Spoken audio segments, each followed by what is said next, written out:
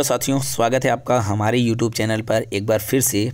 साथियों, आज हम बी ए सेकेंड ईयर वालों के लिए इकोनॉमिक्स फ़र्स्ट पेपर का साथियों किनसी आय निर्धारण का सिद्धांत पढ़ाएँगे। जो भी साथी हमसे जुड़े थे पिछले दिनों में वह वो साथी तो जानते ही होंगे कहाँ तक ने हमने इसको पढ़ाकर समाप्त किया था। आज कुछ दिनों बाद क्लासेज बंद थी। अब फिर से स्टार्ट हो रहा है। बीए सेकंड ईयर वालों के वार्षिक एग्ज़ाम के लिए इकोनॉमिक्स ही नहीं, और अन्य विषयों को चैनल पे हमारे आपको वीडियो मिल जाएगा। तो ऐसे में साथियों, आज आप लोगों को हम किन्सी आय निर्धारण सिद्धांत, कहने का मतलब जो राष्ट्रीय आय निर्धारण का किन्सी सिद्धांत था किन्सी समग्र मांग एवं पूर्ति का सिद्धांत था, और किन्स का प्रभावी मांग का सिद्धांत था, उस पर बात करेंगे। उनकी सिद्धांत को थोड़ा लॉन्ग टर्म में पढ़ेंगे साथियों, जिससे आपको बढ़िया से समझ में आ जाए और आप परीक्षा में बैठें तो अच्छे से अच्छा नंबर स्कोर कर सकें। तो साथियों, चलिए वीडियो को शुरू करते हैं। आपको बता दें कि इसके पहले हमने हैरोड डोमर मॉडल पढ़ाया था। राष्ट्रीय आय मापने की विधि बताई थी। राष्ट्रीय आय कैसे मापा जाता है, उसकी लेखांकन विधि और से बाज़ार का नियम, राष्ट्रीय आय क्या है उसके अलावा P Q L I S D I G I I N D P G D P और उस पर कुछ क्वेश्चन भी सॉल्व कराए थे। तो साथियों, आप लोग पिछले वीडियोज़ को देखने के लिए इस वीडियोज़ के डिस्क्रिप्सन में आपको उन सभी वीडियोज़ के लिंक मिल जाएँगे। आप जा कर के वहाँ से पुराने वीडियोज़ देख सकते हैं। अब उसके बाद यदि आप वहाँ से नहीं पाते हैं तो आप हमारे चैनल के प्लेलिस्ट में जाइए। वहाँ आपको प्लेलिस्ट मिलेगा और सभी वीडियो, सभी विषयों की फ़ाइल बनी हुई है। आप जिसका वीडियोज़ का वीडियो देखना चाहते हैं, उसका प्लेलिस्ट में खोल लीजिए। तो चलिए साथियों, दो मिनट हो चुका है, आपको स्टार्ट करते हैं। पहले ही हमने आपने सारी जानकारी बता दी, और आप नए हो तो चैनल को पहले सब्सक्राइब कर लीजिए, बेल आइकन ज़रूर दबा दीजिएगा, भूलिएगा मत। और देख, देखिए क्या है, इस सिद्धांत की जो सर्वप्रथम बताए थे कि इसने 1936 में इस सिद्धांत की अवधारणा सर्वप्रथम 1936 ईस्वी में किन्स ने अपनी पुस्तक, किन्स की पुस्तक ऑब्जेक्टिव रूप में हर वर्ष बीए में ऑब्जेक्टिव रूप में सवाल बनता है। साथियों, वार्षिक परीक्षा में बन जाता है यह सवाल कि किन्स की लिखी गई पुस्तक का नाम बताइए। तो किन्स ने सर्वप्रथम 1936 ईस्वी में किन्स ने अपनी पुस्तक the general theory employment in, interest and money में दिया था। कहने का मतलब इनकी एक पुस्तक थी, the general theory employment interest and money. तो इसमें इन्होंने इस सिद्धांत को बताया था। अब सिद्धांत के ऊपर हम लोग चलते हैं। देखिए साथियों, कीन्स का आय निर्धारण सिद्धांत, क्लासिकल जो अर्थशास्त्रियों के आय का जो रोज़गार सिद्धांत मैंने पिछले वीडियो में पढ़ा भी चुका है, उनकी मान्यताओं के निष्कर्ष के आलोचनाओं पर निर्धारित था। और कीन्स की जो अनुसार सिद्धांत का यह मानना है कि मान चले, किन्स किन्स जो कहते हैं, उनकी बात करते हैं, किन्स के अनुसार जो सिद्धांत यह मान के कर चले हैं कि अर्थव्यवस्था में पूर्ण रोज़गार की स्थिति हमेशा बनी रहेगी तो वह सिद्धांत रोज़गार निर्धारण का सिद्धांत नहीं हो सकता। आप समझिए, किन्स ने सिद्धांत किस पर दिए? किन्स ने रोज़गार का जो पूर्ण रोज़गार का जो सिद्धांत दिया, उसके ऊपर बात किया है अपने सिद्धांत को। तो इसके पहले हमने जो बताया था साथियों कुछ वीडियोज़ में कि जो आर्थिक अर्थव्यवस्था, जो अर्थव्यवस्था में पूर्ण रोज़गार की स्थिति जब बनी रहेगी, तभी अर्थव्यवस्था क्या करेगी? रोज़गार के सिद्धांत पे काम करेगी और बहुत ही विकसित अर्थव्यवस्था होगी। तो इसके ऊपर किन्स कहते हैं कि सिद्धांत, जो पूर्ण रोज़गार की स्थिति के लिए सिद्धांत और निर्धारण पर रोज़गार सिद्धांत हो सकता है। तो ये जो किन्स कहते हैं, उनकी बातों को अस्वीकार करते हैं और अपनी बातों को रखने का प्रयास करते हैं किन्स। देखिए क्या है, जो साथी पढ़े होंगे पुराने वीडियो, उनको ज़्यादा अच्छे तरीके से समझ में आएगी और जो नए होंगे, उनको भी समझ में आएगी। बस वीडियो में आप लोग बने रहिए, अंत तक आपको कुछ ना कुछ लेकर ही जाएँगे हमारे इस वीडियो से। देखिए मजदूरी में कटौती आय में कमी लाएगी, जिससे, किन्स कहते हैं, मजदूरी में कटौती करेंगे तो आय में कमी आएगी, जिससे परिणामस्वरूप अर्थव्यवस्था में क्रय शक्ति कम हो जाएगी। जब मूल्य में कमी आएगी तो क्रय शक्ति कम खरीदारी कम होगी, जिससे समग्र मांग में कमी आएगी। जो डिमांड होता है, उसमें कमी आएगी। जब लोगों के पास पैसा नहीं रहेगा क्रय शक्ति कम हो जाएगी तो डिमांड भी कम हो जाएगा और समग्र मांग पुनः निवेश का आय पर कमर, कमी लाएगी। कहने मतलब जितनी डिमांड रहेगी, पुनः क्या करेगी? रोज़गार और आय में क्या कहते हैं? कमी लाएगी। जब रोज़गार और आय में कमी लाएगी तो क्या होगा? अर्थव्यवस्था की संतुलन स्थिति में आने के बजाय वह क्या हो जाएगी? असंतुलन। जो असंतुलन की ओर बढ़ती जाएगी। तो जो कीन्स और अन्य अर्थशास्त्री यह मान कर चलते हैं कि अर्थव्यवस्था में संतुलन बना रहे तो इससे पूर्ण रोज़गार की स्थिति बनी रहेगी। तो यहाँ पर बता रहे हैं कि असंतुलन इससे बढ़ता जाएगा। यदि क्रय शक्ति कम हुई लोगों के पास क्रय की क्षमता कम हो जाएगी तो क्या होगा?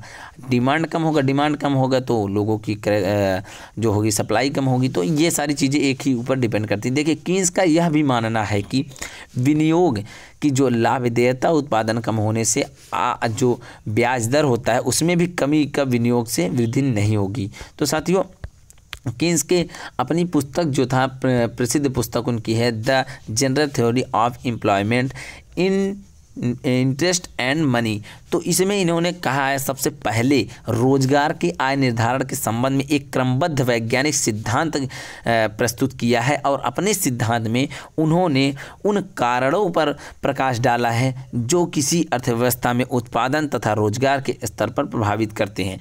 कीन्स ने अपने सिद्धांत में सामान्य सिद्धांत कहा है तथा क्लासिकल सिद्धांत को केवल विशिष्ट सिद्धांत के रूप में कहा है। और इनकी बातों को अब हम लोग देखेंगे क्या कहे हैं। इन्होंने अपने उस बुक के सिद्धांत में। देखें, नोट। किसी अर्थव्यवस्था में, क्या चाहती हूँ किसी अर्थव्यवस्था में उत्पादन की क्षमता जो होगी, स्थिर माना जा सकता है।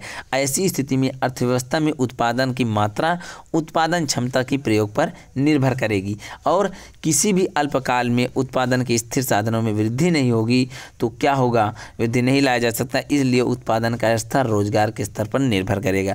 अब साथियों, यदि आप जानते हैं, उत्पादन में वृद्धि जब होगा, किसी भी साधनों में उत्पादन में वृद्धि नहीं होगा तो उसका उसका असर किस पर पड़ेगा? रोज़गार पर पड़ेगा। और जब रोज़गार पर निर्भर करेगा तो रोज़गार की वृद्धि में जो उत्पादन की वृद्धि में, अतः इस प्रकार से रोज़गार की वृद्धि और उत्पादन की वृद्धि लाएगी। और ऐसी स्थिति में क्या होगा? हम किसी प्रणाली के उत्पादन के रोज़गार के परस्पर एक दूसरे के स्थान पर प्रयोग में ला सकते हैं। किन्स ने सारी बातों को घुमा फेर कर यह कहा कि यदि हम उत्पादन का स्तर बढ़ाएँगे तो रोज़गार का स्तर बढ़ेगा, जिससे संतुलन की स्थिति बनी रहेगी। और उन्होंने क्या कहा है? प्रभावी मांग तथा किन्सी रोज़गार का सिद्धांत। इन्होंने और कुछ बातें कही है। किन्स ने कहा है कि अर्थव्यवस्था में रोज़गार का स्तर उस अर्थव्यवस्था में उत्पादन की क्षमता के प्रयोग पर निर्भर करेगा, जो उत्पादन क्षमता का प्रयोग रोज़गार स्तर को बढ़ाएगा, जो उत्पादन क्षमता का प्रयोग, जहाँ उत्पादन क्षमता का प्रयोग होगा, वहाँ रोज़गार स्तर को बढ़ाएगा, रोज़गार बढ़ेगा जहाँ उत्पादन। और उत्पादन क्षमता का प्रयोग से विक्रय प्रत्याशा पर निर्भर करती है। और जब विक्रय प्रत्याशा क्या होगी? बढ़ेगी, अर्थात विक्रय कितनी वस्तु सेवाओं का बाज़ार में चला लेती है, उतनी उम्मीद करता है। यदि विक्रय अधिक होगा तो लोगों के पास क्या होगी? क्रय शक्ति अधिक होगी, मनी अधिक होगी। जब व्यक्ति कोई चीज़ को निवेश करेगा, विक्रय करेगा तो वहाँ पर लोगों के पास क्रय शक्तियाँ भी बढ़ती है। देखिए क्या होगा? विक्रय प्रत्याशा, क्रय प्रत्याशा पर निर्भर करता है। अतः जो साहसी किस दृष्टि से विक्रय प्रत्याशा पर, वही मूलतः सामुदायिक दृष्टि से क्रय प्रत्याशा होगी, जो कि वस्तु और सेवाओं पर होने वाले व्यय पर निर्भर करती है। साथियों, जो विक्रय प्रत्याशा है, वह क्रय प्रत्याशा पर निर्भर करेगी। विक्रय प्रत्याशा का मतलब ये है, जो विक्रय करने की क्षमता है और क्रय प्रत्याशा जब व्यक्ति कोई चीज़ बेचेगा तो कोई ना कोई उसे खरीदेगा।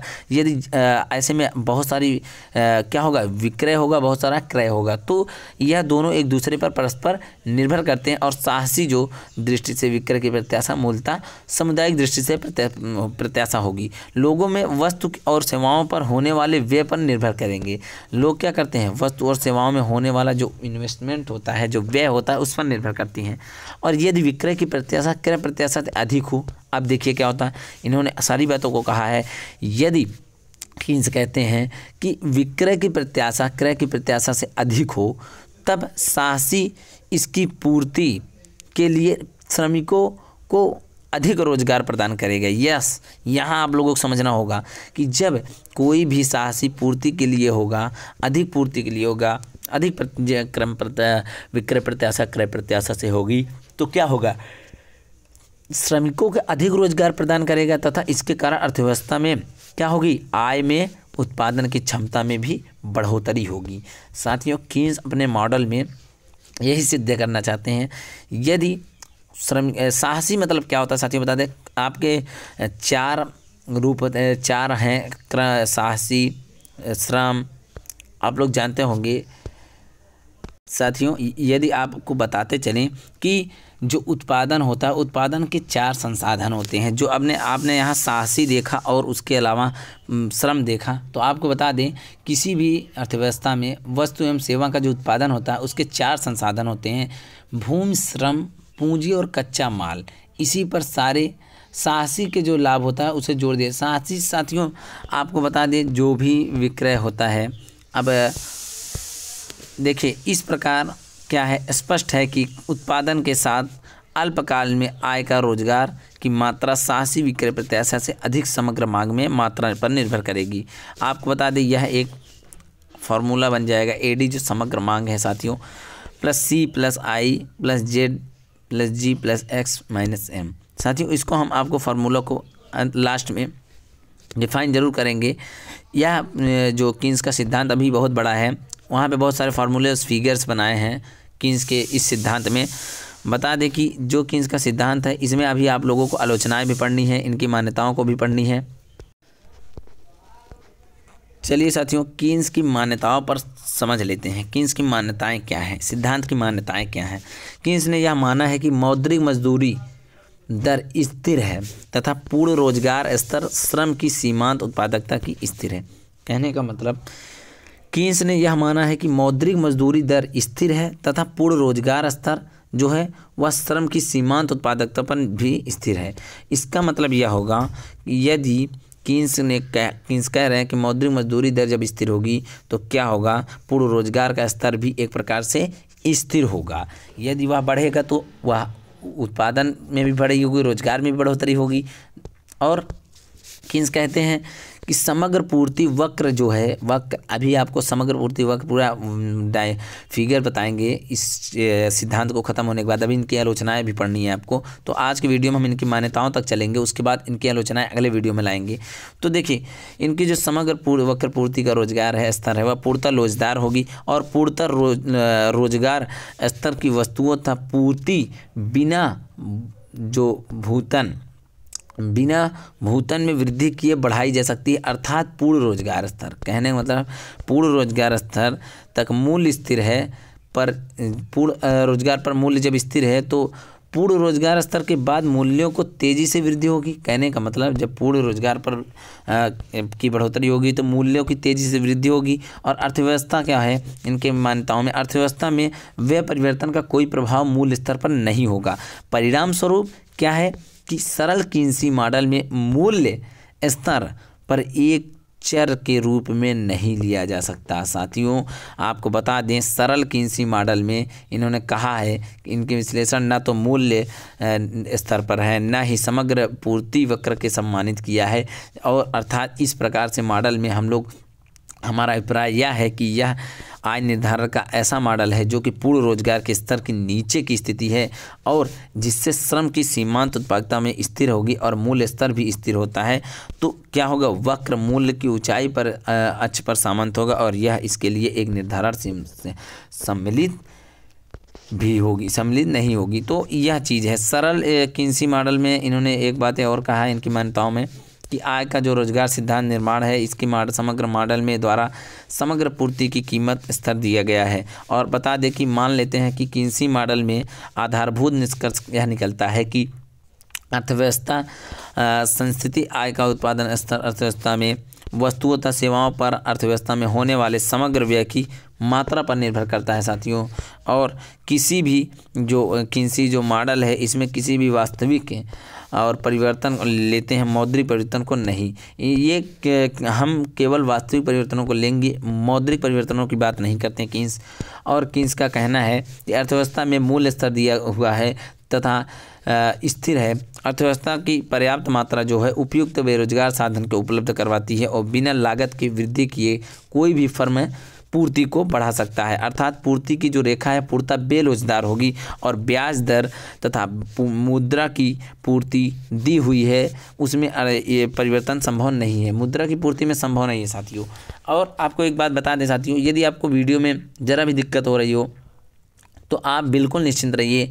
आप पिछले वीडियोज़ को देख लेंगे तो आपको अच्छे समझ में आ जाएगा। उसके बाद इसको पढ़ेंगे तो समझ में आएगा। और इसका जो मैं पढ़ा रहा हूँ, जो नोट्स दिखा रहा हूँ आपको, इस नोट्स को हमारे टेलीग्राम चैनल पर आपको मिल जाएगा। हमारे टेलीग्राम चैनल ज्वाइन कर लीजिए। वहाँ पर आपको इस, इसकी नोट्स पूरी मिल जाएगी साथियों। तो आप अपना खुद का तैयार कर सकते हैं कॉन्टेंट खुद बढ़िया से पढ़ के एग्ज़ाम में दे सकते हैं। बाकी सहारा के लिए हम तो है ही। अर्थात रोज़गार तथा राष्ट्रीय उत्पादन परस्पर संबंधित है। अर्थात कह सकते हैं, किन्स का उत्पादन फलन अल्पकालीन है। किन्स का दीर्घकालीन नहीं है उत्पादन फलन, यह अल्पकालीन है साथियों। और आपको एक बात बता दें, जो रोज़गार तथा राष्ट्रीय उत्पादन का परस्पर संबंधित है, कहने का मतलब जो किन्स का यह सिद्धांत है, यह रोज़गार और रोज़गार और पूर्ण, समग्र पूर्ति पर देखिए, रोज़गार पर परस्पर संबंधित है, अर्थात किन्स का उत्पादन फलन अल्पकालीन है, सरल किन्सी मॉडल पर समग्र पूर्ति सम्मिलित नहीं करते हैं, क्योंकि यह उत्पादन अक्ष पर समांतर प्रदर्शित करते हैं। और किन्स की बातों को देखते हैं, लास्ट में इनकी मान्यताओं पर सभी चर, वास्तविक चर के विश्लेषण के सरल बनाने के लिए किन्स को मान लेते हैं। और क्या है, मूल्य इकाई के बराबर है परिणाम स्वरूप मौद्रिक चर, वास्तविक चर का एक ही होंगे। साथियों, आशा है कि आपको वीडियो बहुत अच्छा लगा होगा। साथियों, ऐसे ही आप लोग हमारे साथ बने रहिए। आपको हम सारे सिद्धांत ख़त्म कर देंगे। सारा सेकेंड ईयर का इकोनॉमिक्स ख़त्म कर देंगे। First paper second paper third paper सभी आपको सेकंड पेपर भी वीडियो लगातार अपलोड हुए हैं छः सात वीडियो जाकर देख सकते हैं। थर्ड पेपर का मनी बैंकिंग स्टार्ट करने वाले हैं, उसको भी देखिए। आप लोग यदि और किसी विषय का लेक्चर देखना चाहते हैं तो हमारे चैनल पे देख सकते हैं। तो आज के लिए बस इतना ही साथियों, मिलेंगे अगले वीडियो में। वीडियो देखने के लिए बहुत बहुत धन्यवाद। वीडियो को लाइक करके जाइएगा चैनल को सब्सक्राइब करके जाइएगा साथियों।